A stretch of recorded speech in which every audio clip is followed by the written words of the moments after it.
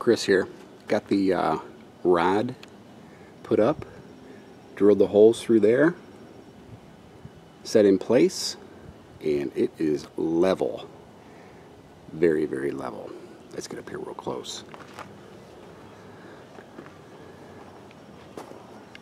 These things were pricey. Very pricey. And I'm, I need to get, I need a suggestion on, I want to get like a sleeve with like little Allen head that can dig in to keep it from going side to side.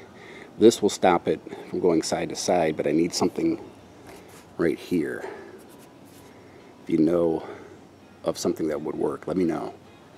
That would work really good. On the inside, see here, this is one inch. And that matches up perfectly with that right there. Right there, okay? I mean, I got like a, a third of an inch to play with when I can move in here. So it's gonna fit just perfectly snug and keep it from warping this way.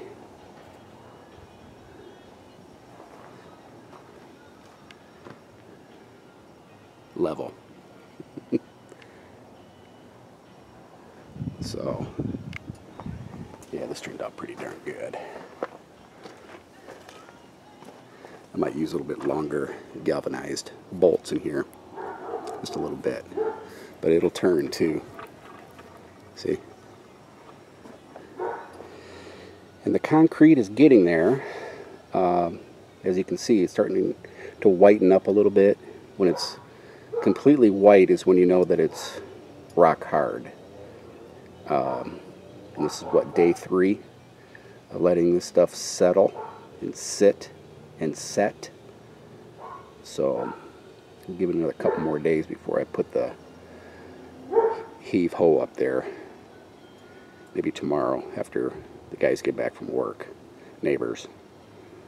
We'll get this thing lifted up here. And what I think I'm going to do in the interim is once I get the solar panel put up here, of course that would be the bottom there, I'll just stake it down for now. You know, it'll be hoisted up, but I'll just stake it in place um, with that uh, super strut or post or whatever I come up with just to keep it you know, four points. And then I'll come up with some, some type of thing uh, to make it adjustable. So, there you have it. All right. Quick little three minute video showing progress on this. And uh, it's turned out pretty good. Pretty good. It's going to be strong enough too. Um, I put I put my ass into this right here you know, it doesn't even freaking budge. Oh, yeah. And that panel, the whole panel right there maybe weighs 150 pounds total. So, and it's going to be evenly distributed and strong up there. So, all right, guys, thanks for watching, and uh, we'll see you next time. Hopefully, it'll be up in the air next time. Later.